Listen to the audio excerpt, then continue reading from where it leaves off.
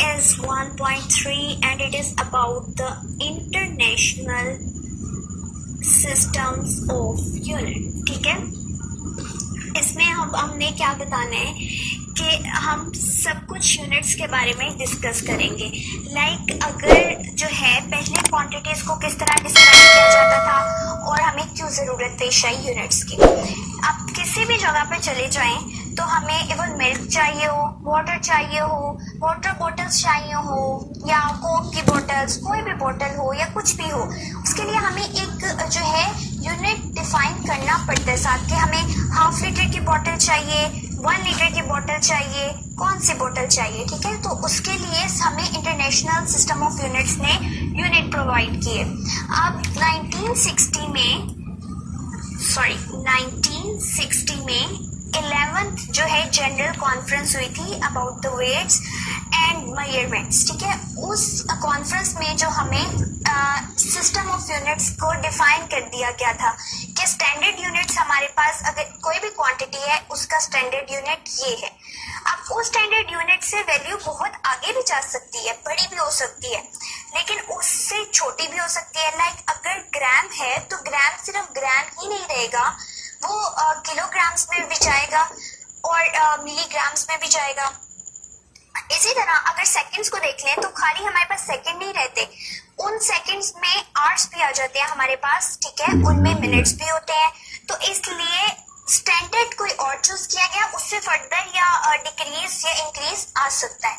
तो 1960 में हमें इंटरनेशनल सिस्टम ऑफ़ यूनिट से यूनिट्स का पता चला। अब जो है, इसमें भी बेस यूनिट्स आ जाते हैं, ठीक है? इसमें बेस यूनिट्स को डिस्क्राइब किया गया एंड डिराइव यूनिट्स को डिस्क्राइब किया गया।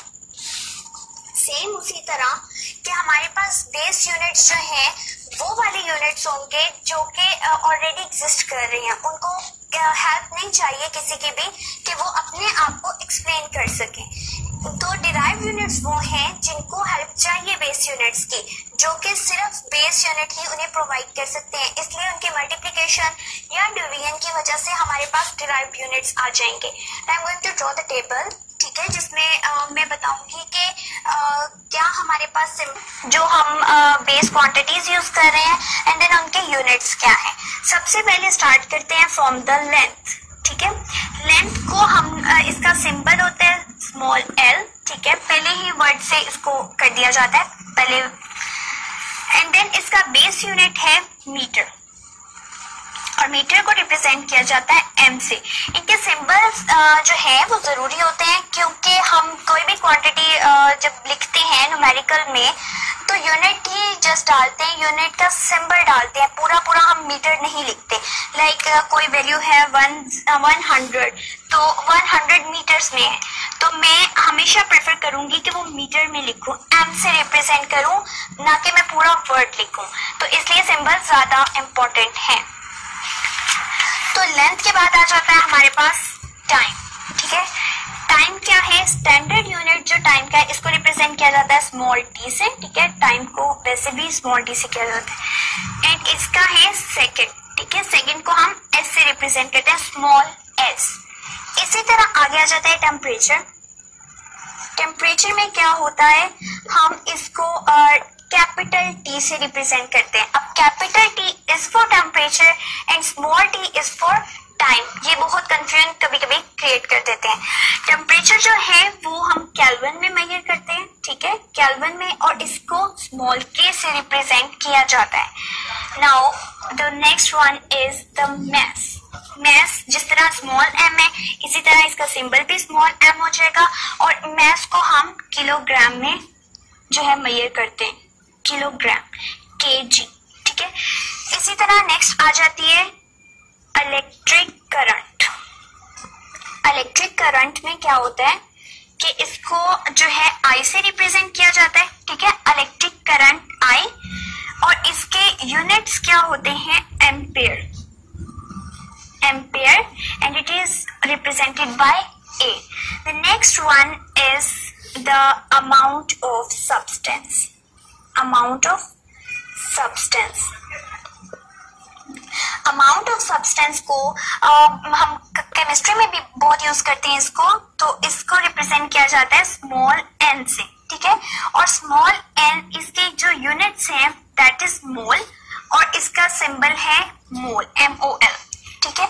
इसी तरह नेक्स्ट आ जाती है intensity of light intensity of light अब यहाँ से पता ही चल रहा है कि लाइट की इंटेंसिटी है तो हमने इसका सिंबल क्या चूज़ कर लिया? लाइट से एल ठीक है? और उसके यूनिट्स क्या है? Candela and it symbol is C D so basic हमारे पास बेस यूनिट ये सेवन है, जिनको हम रिप्रेजेंट इस तरह करते हैं कि लेंथ के लिए एल यूज़ किया जाता है टाइम के लिए स्मॉल टी टेम्परेचर के लिए कैपिटल टी मैथ के लिए स्मॉल एम इलेक्ट्रिक करंट के लिए कैपिटल आई एंड इसी तरह अमाउंट ऑफ़ सब्सटेंस के लिए small N and intensity of light के लिए कैपिटल एल एंड देन ये उनके फर्दर यूनिट्स हैं, और यूनिट्स के ही बेस पे हम उनके सिंबल्स यूज़ करते हैं। तो ये मस्ट है कि आप इनको याद रखें।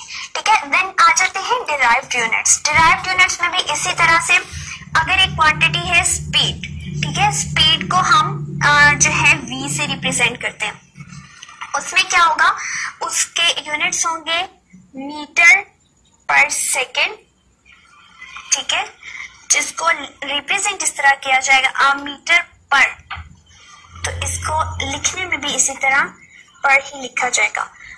बट uh, इसके जो सिंबल्स होंगे मीटर पर सेकेंड अब मीटर जो है that is the base unit and the second is also the base unit तो मीटर पर सेकेंड जो पूरा का पूरा जो हमारा डिराइव हुआ है, वो बेस यूनिट से हुआ है।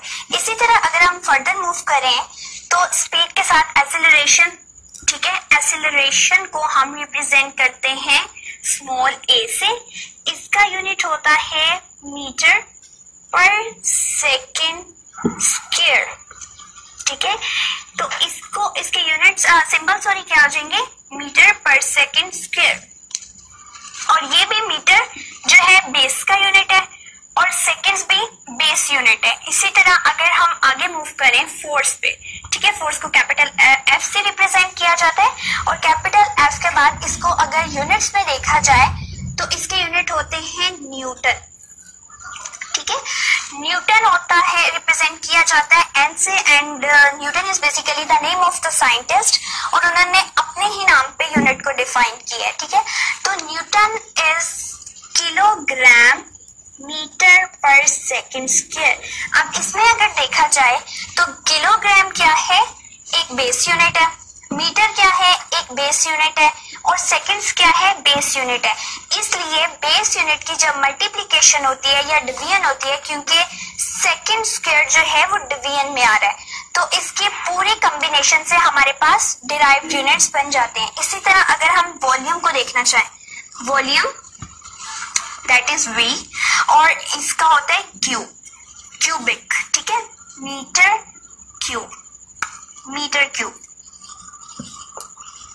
metre cube metre is also the base unit इसी तरह अगर हम चार्ज ले लेते हैं, किसी भी इलेक्ट्रॉन पे चार्ज है या किसी भी चीज़ पे चार्ज है चार्ज को चार्ज का सिंबल जो हम यूज़ करते हैं दैट इज़ क्यू और क्यू इसको कूलम इसका यूनिट होता है, ठीक है? कूलम अब कूलम की जो रिप्रेजेंटेशन होती है, उसका जो सिंबल होता है दैट इज़ सी या A S A is ampere ठीक है? And S is for second and again the ampere and the seconds ठीक है? ये मोल है कैंडिला है. एम्पियर जो है, वो भी एक बेस यूनिट है और सेकेंड भी जो है, वो हमारे पास बेस यूनिट है. जो डिराइव यूनिट्स हैं, वो सबके सब, जितने भी हम फर्दर आगे क्वांटिटीज देखेंगे, जो डिराइव हुई होंगी, वो बेसिकली बेस यूनिट से डिराइव हुई होंगी। तो इस टॉपिक में हमने किस तरह